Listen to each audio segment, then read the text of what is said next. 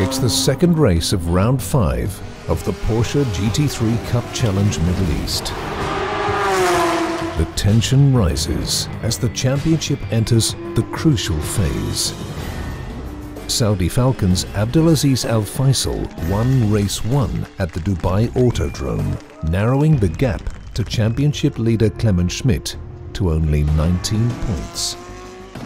Schmid was forced to withdraw in race one after a self-inflicted collision that also led to his suspension for race two. I'm really sorry for everyone.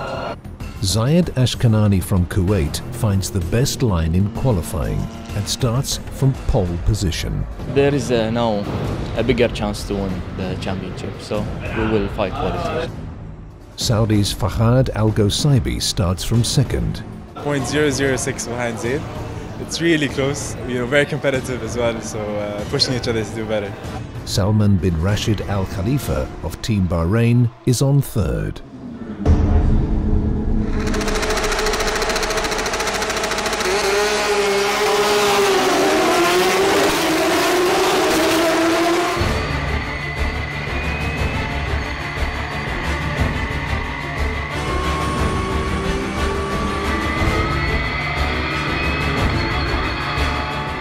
Ashkanani has an excellent start on the clean side of the track and keeps the lead. Algosaibi is close behind, followed by Abdulaziz Al Faisal, who manages to overtake Al Khalifa in the first corner.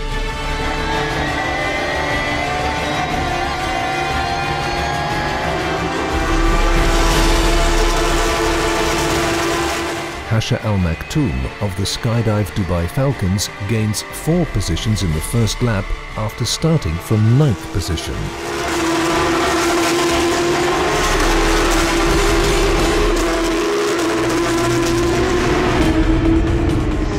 A few laps later, he passes his teammate Saeed Al Mahiri to close in on the leading group.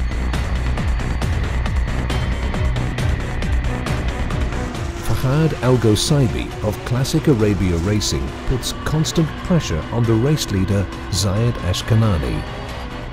Tried to put a lot of pressure on Zaid, you know, throughout the race, but his performance was amazing. He was very consistent. His exits were always quick, so it was hard to get him. I'm really scared to make a mistake, so I know if I make a small mistake, he will pass. In midfield, positions change constantly with Christina Nielsen, Faisal bin Laden, Karim Al Azari, and Salman bin Rashid Al Khalifa fighting for a top six finish.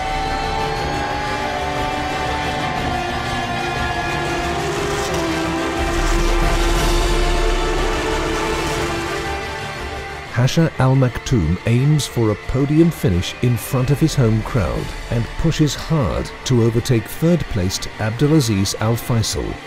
Hasher closed the gap and was much faster on the on the exit of every corner. Al Maktoum uses his chance to pass Al Faisal in the famous bowl corner.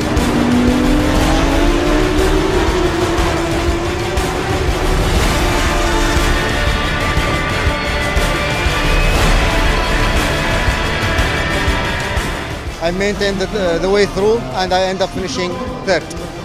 Zaid Ashkanani celebrates a clean start to finish victory, powering his way to the top of the Drivers' Championship. So I'm really happy with those. And congratulations to Fahad. Alf Mabruk, wallah, you deserve it. Fahad Algosaibi becomes a regular on the podium, finishing second. I'm very happy. I mean, losing to Zaid isn't really a loss. You know, he's an amazing driver, very talented, and uh, you know, just uh, being behind him, you know, I learned a lot from his lines as well. It was a good experience. But the man of the race is Hasher Al Maktoum, who worked his way through the field from ninth position to finish on third. I'm quite happy about my teammate yesterday. He finished second and I've done another podium today, third. It will be a thrilling climax on the final race weekend in Bahrain. Zaid Ashkanani now leads with 199 points. Clemens Schmid and Abdulaziz Al Faisal are only three points behind with 196 points each.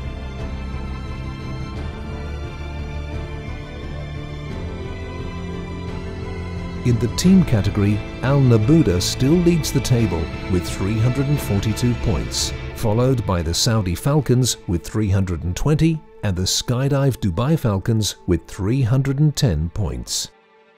Stay tuned for the grand finale of the fifth season of the Porsche GT3 Cup Challenge Middle East at the Bahrain International Circuit.